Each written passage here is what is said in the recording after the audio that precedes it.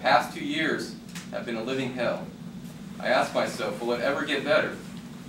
I have nightmares almost every night. The stress of losing my only child has caused health problems.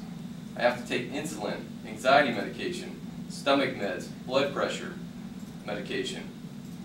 I've had grief counselors. At times I start shaking and feel like I'm going to fall apart. Kelly was a good person. He was always helping someone that needed help. He was a volunteer fireman, an EMT. He saved a man having a heart attack while waiting in line at his bank. The lives he touched are too many to list. That wasn't supposed to happen.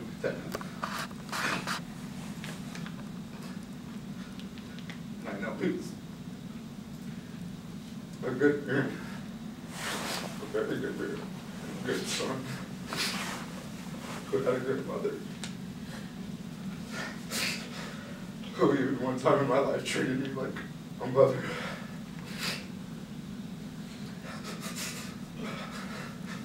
And I did everything I could, even if it includes me, to make sure that everyone involved didn't walk away from what happened to. That was my to happen. I pray for you guys every day. I pray for his children, and they have every day for over twenty-five months while I sat in Clackamas County Jail. I love you, Ballast. Thank you.